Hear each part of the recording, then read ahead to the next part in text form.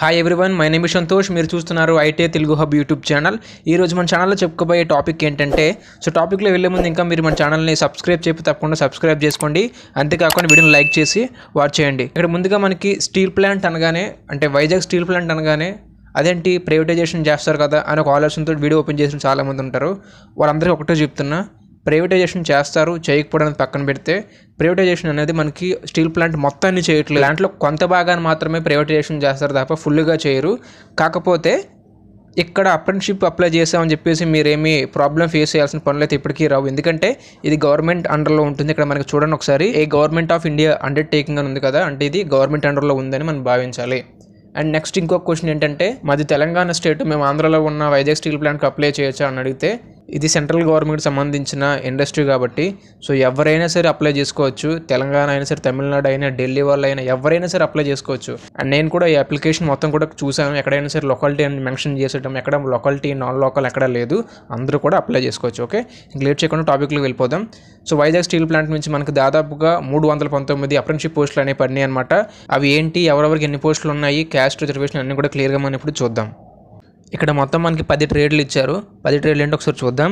Fitter డెబ్బై ఐదు వేకెన్సీలు Turner పది వేకెన్సీలు మెషనిస్ట్ ఇరవై వేకెన్సీలు వెల్డర్ నలభై వేకెన్సీ ఎంఎంటీఎం ఇరవై ఎలక్ట్రీషియన్ అరవై కార్పెంటర్ ఇరవై ఆర్ అండ్ ఏసీ పద్నాలుగు డీజిల్ మెకానిక్ ముప్పై కోప ముప్పై. పది ట్రేడ్లు కలిపి మనకు మొత్తం వేకెన్సీస్ మూడు వందల పంతొమ్మిది వేకెన్సీలు వచ్చినాయి ఇక్కడ. అయితే ఇక్కడ మీరే మీది ఏ ట్రేడో మీ క్యాస్ట్ ఏంటో చూసుకొని మీకు ఎన్ని పోస్టులు ఉన్నాయి క్లియర్గా చూసుకుని. ఎందుకంటే నేను అవన్నీ కూడా ఎక్స్ప్లెయిన్ చేస్తే చాలా వీడియో అనేది పెద్దదైపోద్ది లెంతీగా తయారైపోద్ది. చూసే వాళ్ళకి కూడా కొద్దిగా ఇంట్రెస్ట్ ఉండదు.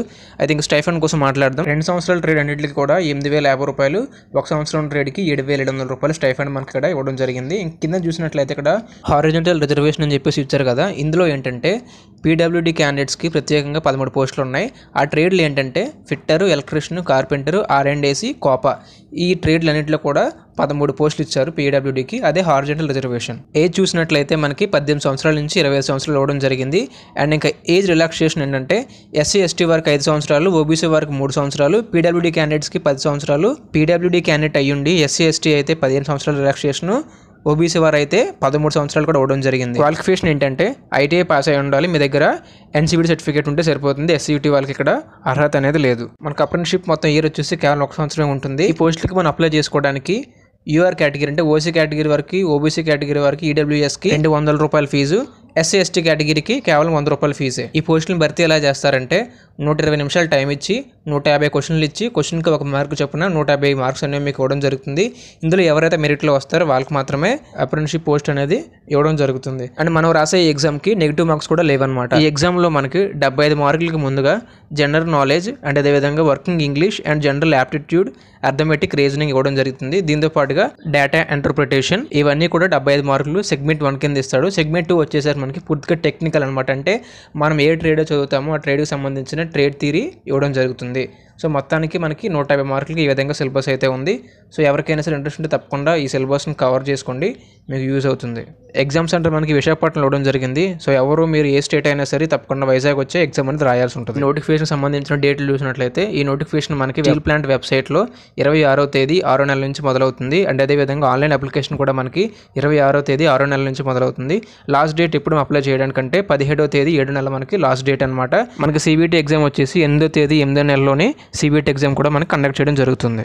సిబిటి ఎగ్జామ్ పాస్ అయిన తర్వాత మనకి సర్టిఫికేట్ వెరిఫికేషన్ అనేది ఉంటుంది. సో ఆ వెరిఫికేషన్లో మనకు కావాల్సిన డాక్యుమెంట్స్ ఏంటంటే మన టెన్త్ క్లాస్ మార్క్ షీట్ అనమాట మీరు ఏ క్యాస్ట్ అయితే ఆ క్యాస్ట్ సర్టిఫికేట్ వ్యాలిడ్ అయి ఉండాలి. మీరు ఒకవేళ పీడబ్ల్యూడీ క్యాండిడేట్ అయితే మీ దగ్గర ఖచ్చితంగా పీడబ్ల్యూడీ సర్టిఫికేట్ కూడా ఉండాలి. అండ్ మీ ఐడి ప్రూఫ్ ఉంటే సరిపోతుంది. ఈ నోటిఫికేషన్కి మీరు ఆన్లైన్లో ఏ విధంగా అప్లై చేసుకోవాలని వీడియో మీకు కావాలనుకున్నట్లయితే తప్పకుండా కామెంట్ సెక్షన్లో కామెంట్ చేయండి. వీడియో కావాలని చెప్పేసి నేను వీడియో చేయడం జరుగుతుంది. వీడియోని ఇంకా మీరు లైక్ చేయకపోతే తప్పకుండా లైక్ చేయండి. ఏ డౌట్స్ సరే తప్పకుండా కామెంట్ సెక్షన్లో కామెంట్ చేయండి. ఈ నోటిఫికేషన్ వీడియోని మీ ఫ్రెండ్స్ అందరికీ షేర్ చేసి IT Telugu hub channel subscribe చేసుకోండి. Thanks for watching